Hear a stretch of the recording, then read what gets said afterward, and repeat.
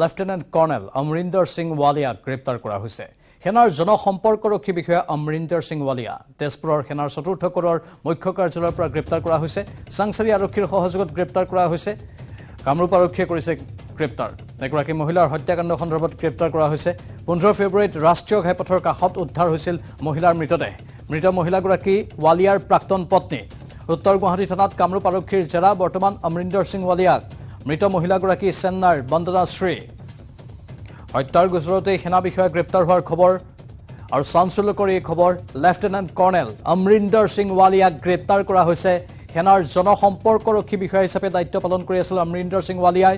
তেজপুৰৰ সেনাৰ চতুৰ্থ কোৰৰ মুখ্য কাৰ্যালয়ৰ পৰা তেওঁক গ্ৰেপ্তাৰ কৰা হৈছে। চাংচাৰী আৰক্ষীৰ সহযোগত কামৰূপ আৰক্ষীয়ে তেওঁক গ্ৰেপ্তাৰ কৰিছে। এগৰাকী মহিলাৰ হত্যাকাণ্ড সন্দৰ্ভতেই তেওঁক গ্ৰেপ্তাৰ কৰা হৈছে।